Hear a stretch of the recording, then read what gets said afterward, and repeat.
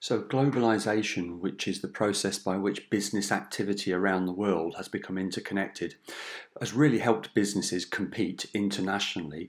This has been influenced really by improvements to transport networks, so planes and ships, internet and telecommunications improvements, and the removal or reduction of trade barriers. A good example of this is Marks and Spencer, which now has over 1,400 stores in over 45 countries around the world.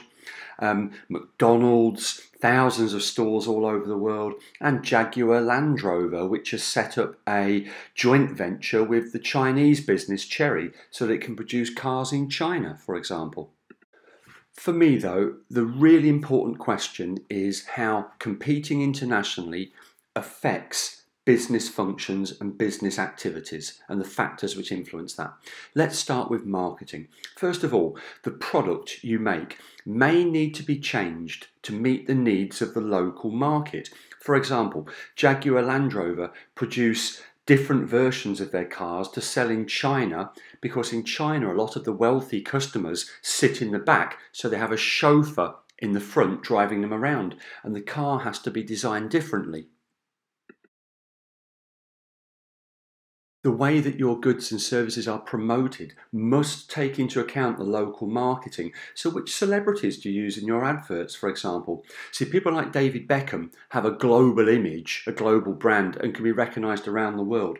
But in India, for example, Sachin Tendulkar, who is a cricketer that you can see on that picture there, is very was very popular in India, and still is, in fact, has featured in Coca Cola's adverts over in India because customers can relate to him as a celebrity, as a face of the brand.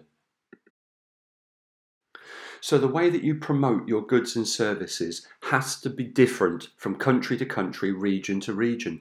And what about the prices that you set? Well, here's a quick look at what the um, different types of pricing strategies we talked about were.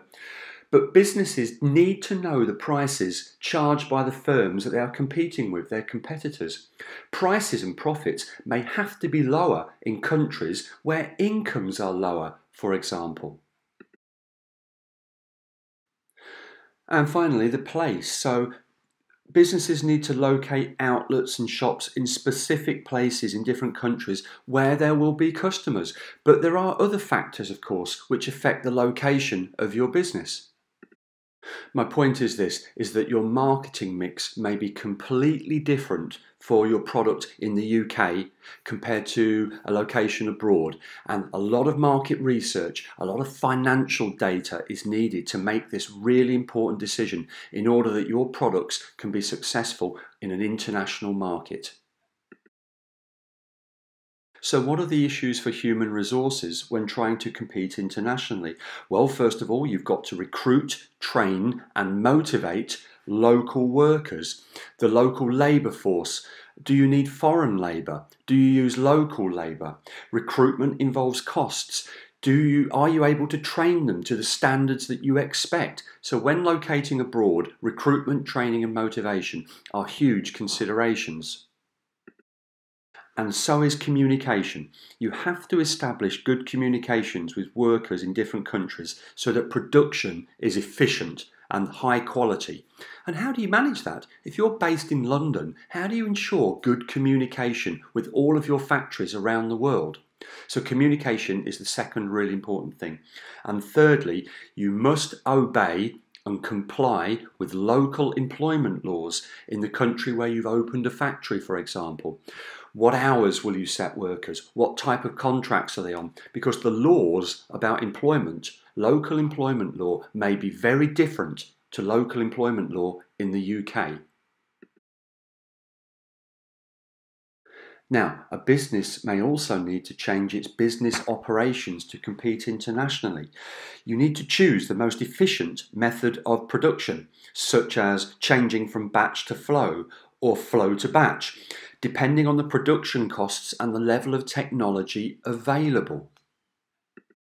Now, the quality of goods is a huge consideration. Buyers in different markets may have different expectations about the quality.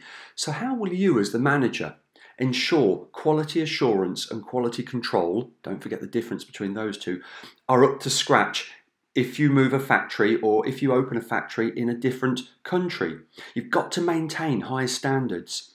And then there's the sales process. Customers in some areas may prefer to pay in cash or deal with people face to face. So, do you sell online? Do you open shops? But all of this has to be ascertained by careful market research and knowledge of your local market. Finally, business location. We've talked about this before, and here's a reminder of the considerations.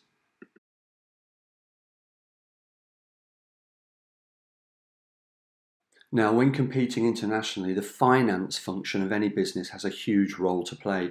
So, the finance function may need to arrange loans or overdrafts or sell shares to raise capital in order to expand abroad, whether that's opening a factory, whatever it is. So, you need to know your sources of finance. You've also got to make sure that the benefits of relocating a factory or opening a factory abroad or selling your products abroad, abroad outweigh the costs of setting that up. So, the costs for human resources, wages, your suppliers' costs, rent costs, material costs, transportation costs. Businesses must work out whether they can sell at competitive prices prices whilst covering all of these costs, and the finance function plays a vital role in that. Don't forget that the managers and the finance department will conduct analyses like break even analysis and average rate of returns when considering whether to open a new location or invest in new machinery in their factories abroad. Everything we've done about finance counts for this unit. Just before we finish, I want you to try when you're writing your answers to remember these killer phrases we've come up with. So, when answering the question, how does globalization affect a company's business activity?